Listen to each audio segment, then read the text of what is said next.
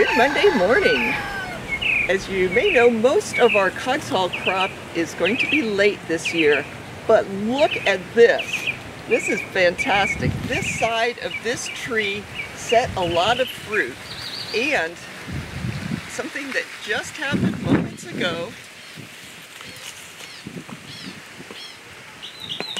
is that we found these. These were drops of course, it's always a shame when things drop, but they are very pretty and they don't even seem to be bruised. So this is like the first mangoes of the season, and who would have guessed it would be Cogshall?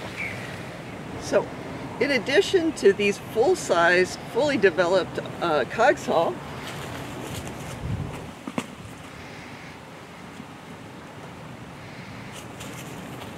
we found two lemon meringue and this is an Angie.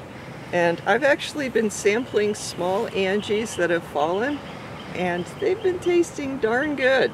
So uh, we're hoping to get lemon meringue and some Angie soon. Now with this Cogshall, I, this side of this tree is doing great. Uh, we have two other Cogshall trees in the grove and they are possibly the last trees in the grove to flower and fruit. So those trees are going to have super late Cogshall.